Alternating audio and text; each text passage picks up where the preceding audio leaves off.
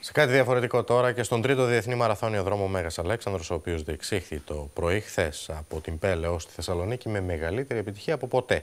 Μετήχαν 1.500 δρομείς, αριθμός ρεκόρ, ενώ ο αγώνας τον οποίο μετέδωσε απευθείας η ΕΤΡΙΑ εξελίχθηκε σε κενιάτικο θρίαμβο σε άνδρες και γυναίκες.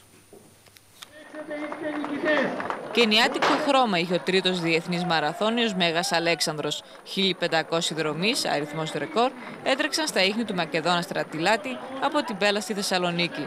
Τρεις αθλητές όμως από την Αφρική αναδείχθηκαν σε πρωταγωνιστές της διαδρομής.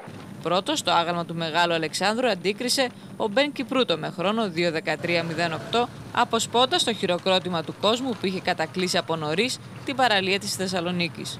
Αυτά είναι τα τελευταία μέτρα για τον Μπεν Τσέμπετ Κύπρου, τον Κενιάτη που κερδίζει τον τρίτο διεθνή μαραθώνιο Μέγας Αλέξανδρος στη Θεσσαλονίκη. 2.13.12 ο χρόνος και ακολουθεί δεύτερος ο Λέοναρτ Κίπκεχ, ένας άλλος Κενιάτης. Βλέπετε τα τελευταία μέτρα για τον Τσέρβιοτ.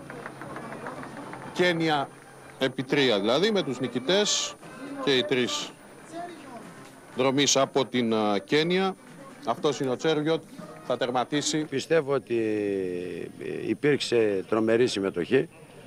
Ε, εμείς ακολουθήσαμε όλο το Περιμένουμε από στιγμή σε στιγμή την πρώτη νικήτρια και θέλω όλα στην να δώσω το λόγο.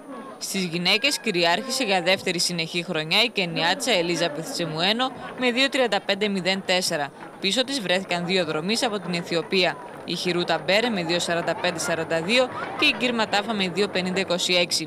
Από ελληνικής πλευράς, στου άνδρες πρώτος τερμάτισε ο Γεράσιμος Γρήβα και στις γυναίκες η Μαρία Καλέντζη.